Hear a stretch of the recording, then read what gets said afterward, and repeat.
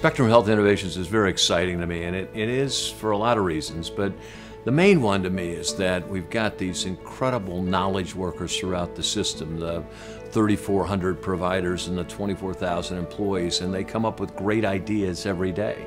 Well, who's there to collect those great ideas? Who's there to see if, in fact, it can be something to improve what we do or what others might do? We're here at Spectrum Health Innovations to help make that process a heck of a lot easier for our colleagues. We provide the resources, the expertise, the contacts to help make that process more feasible to move from that idea phase all the way to something that can make it into our patients' or doctors' hands here at Spectrum Health. When someone has an idea, our whole team is built around helping that person move their idea forward. On our team, we've got clinicians, business folks, engineers, and beyond that, we have a whole pool of folks in the community that can help move those ideas forward. So we're all about trying to help make that process as easy, pain-free, and successful as possible. Ideas come into our team generally one of two ways. First off, there are a lot of really smart doctors, nurses, therapists, clinicians, and other colleagues here that have a lot of great ideas for new opportunities for Spectrum Health Innovations. They can get in touch, submit their idea through our website, through our email address, through a phone call, or just reaching out to catch up for a cup of coffee. But also we try to be proactive as well, so we do a lot of observations, brainstorming sessions, interviews to try to uncover where those opportunities are for promising new technologies and products for healthcare. So I have the privilege to work with clinicians across the organization. They bring their expertise to the table. We help them bring their ideas to life.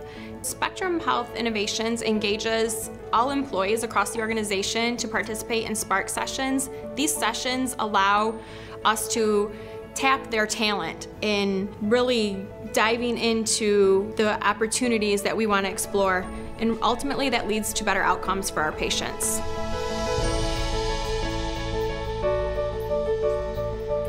Mary Tibby is a clinical practice associate in our medical ICU. And one of the problems that she is facing is reducing catheter associated urinary tract infections.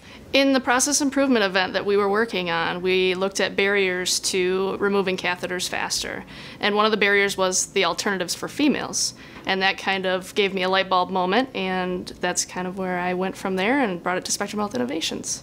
So we started an adventure with Grand Valley State University, and it's really a collaboration. And so this project started in the fall of 2015 with a group of engineering students. The winter semester of 2016, we took that prototype one step further and we actually were able to come up with a finalized version of a prototype that we were able to file a provisional patent on. Through the design process, we've, um, we've been meeting with Spectrum Health Innovation staff um, every other week, and we actually present them what we've come up with between our meetings, so that way it's helped us develop the product to be something that we know will be functional. So I think the product that we have now is actually a, a great product, and I'm looking forward to moving it through.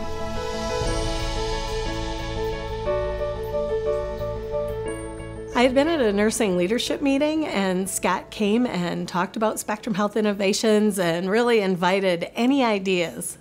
It was even at that meeting that I was thinking about this and she noticed that there was this huge problem with unplanned extubations, which is anytime a patient either pulls their own breathing tube out or it just happens unexpectedly when you're transferring a patient or anytime the patient moves around. And she said, there's really no good solution to this. We have these tube holders out there, but they really don't prevent the problem. So there's got to be something better we can do.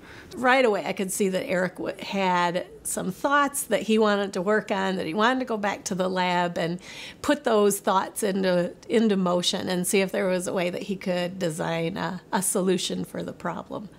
In order to solve this problem, we completely redesigned the breathing tube holder. And instead of looking just at a way to prevent unplanned extubation, we expanded the project to also prevent pressure sores and other issues with these holders. But first what we did is we rethought how to actually hold onto the breathing tube. So what we did is we put a flange or just a little clip in front of the flanges on the breathing tube holder that makes it physically impossible for the patient to pull it out. It's incredibly simple, but it's incredibly effective. I think that it will benefit our patients. I think it'll keep them safe. I think that from a staff perspective, it'll help both the nurses and the respiratory therapists feel safe and confident that their patient will be able to be ventilated.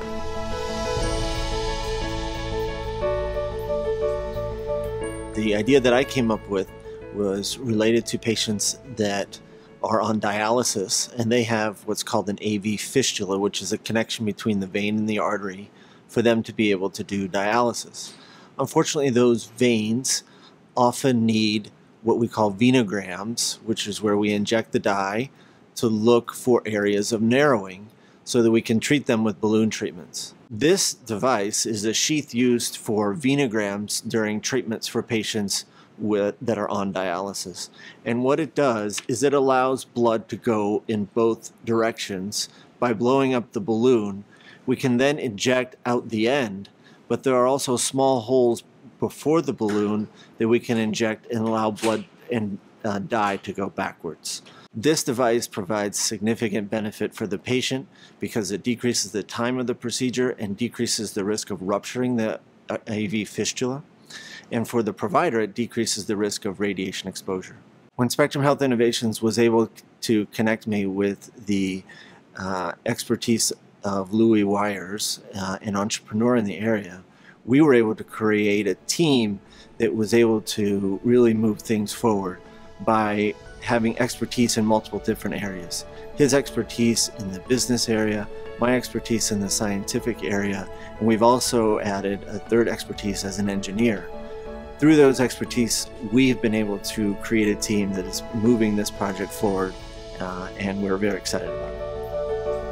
It was great working with the Spectrum Health Innovations team. I don't think I could have done it without them. They pulled a lot of the different teams together, kept me in the loop, did a lot of product evaluation, and finally came out with an amazing product. It's a very easy, user-friendly team that works great with the healthcare providers to try to take ideas um, to real solutions all staff members can trust that they have an opportunity, that if they have an idea, they can share it with the department. They don't have to have it fully fleshed out, they don't have to have the solution completely in mind. They just need to know the problem. And um, what a great what a great benefit for Spectrum Health.